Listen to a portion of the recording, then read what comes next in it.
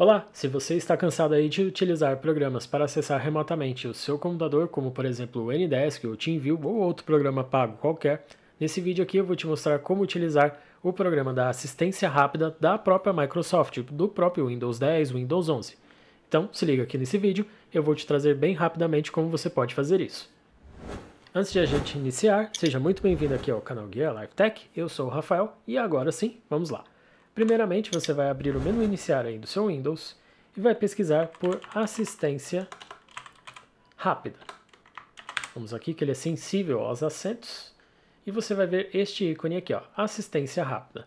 Você vai abrir este programa nos dois computadores, no seu computador, onde você está fisicamente, e vai pedir para outra pessoa no computador de fora aí da sua rede ou da mesma rede mesmo para abrir esse programa também. Então vamos aqui, abrir o programa. Talvez, eu vou colocar aqui do meu lado direito da tela, ele peça para você instalar ou atualizar o aplicativo.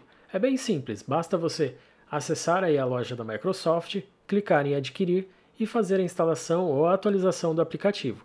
Depois você deve colocar o seu e-mail e senha para logar no aplicativo. Ao fazer essas configurações, você vai cair nesta janela aqui da assistência rápida, onde ele vai te dizer aqui algumas instruções básicas, mas como ele diz mesmo, é ser uma assistência rápida. Então aqui ele vai te dar a opção de obter assistência. Isso daqui deve ser utilizado para a pessoa que quer que você acesse o computador dela. E a opção aqui abaixo, que é a que você vai utilizar no seu computador para acessar o de outra pessoa, é a de dar assistência. Então, para acessar, você vai clicar aqui em ajudar outra pessoa. Novamente, ele vai pedir aqui o login e senha. Eu vou acessar aqui. E aí ele vai gerar nessa tela aqui o código para você compartilhar com a pessoa que vai receber o seu acesso, ou seja, o computador que você quer entrar. Você vai ver aqui que ele vai gerar o código de segurança e nós devemos agora ativar esse código lá no outro computador.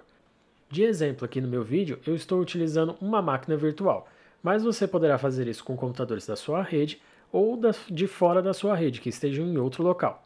Você, como eu disse antes, vai fazer o mesmo processo, você vai instruir a outra pessoa a abrir a assistência rápida. Talvez tenha que fazer o mesmo processo de atualização e instalação do programa da assistência rápida. E aqui a diferença é que a pessoa que vai receber o seu acesso, ela vai digitar o código em questão. No meu caso aqui é o X.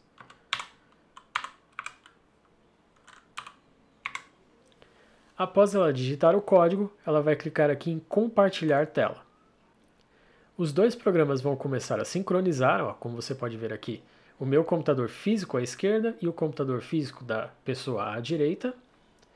E no seu computador vai aparecer esta mensagem aqui: escolha uma opção de compartilhamento. Você pode escolher entre assumir o controle total do computador da outra pessoa, enquanto o acesso remoto durar, né? Ou você pode simplesmente exibir a tela para ver as configurações, o que a outra pessoa está fazendo. Neste caso aqui, como provavelmente você deve querer prestar suporte para a pessoa, prestar um auxílio a ela, você deve escolher aqui assumir o controle total e clicar aqui em continuar. A pessoa do outro lado também vai receber uma mensagem levando em consideração aí se ela quer permitir o seu acesso ou não. Exatamente aqui, ó. Compartilhar sua tela. Precisamos de sua permissão para continuar. Rafael.d poderá ver seus arquivos e controlar o seu computador. Feche todos os aplicativos não essenciais e remova todos os dados particulares que você não quer que sejam vistos. Ou seja, você deve avisar aí a pessoa que vai receber o acesso que é que você vai ter aí acesso às informações que estão dentro do computador dela, ok? Feito isso, você vai pedir para outra pessoa clicar aqui em permitir. Talvez apareça essa janela aqui do firewall, você pode permitir, pois se trata aí de um programa da Microsoft mesmo. E aí, quando a outra pessoa fizer as permissões dentro do computador dela, ou no caso você, através dos seus computadores mesmo, você está querendo acessar o seu computador B através do seu computador A, é só você permitir aí normalmente os acessos. E aí, ao finalizar essas permissões, você já vai ver aqui ó, o acesso remoto feito. Ah, vamos colocar aqui a minha máquina virtual para a direita e o acesso remoto para a esquerda aqui. Ó. Como você pode ver, é tudo acessado aqui normalmente.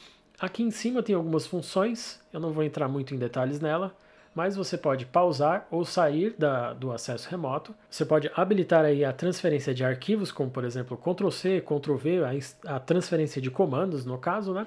E também pode mandar reiniciar o computador da pessoa através do menu superior aqui. Você também pode fazer pequenas anotações aqui referente ao acesso remoto. Você pode aqui, ó, colocar coisas que façam a pessoa entender o que você está querendo sinalizar aí no computador dela.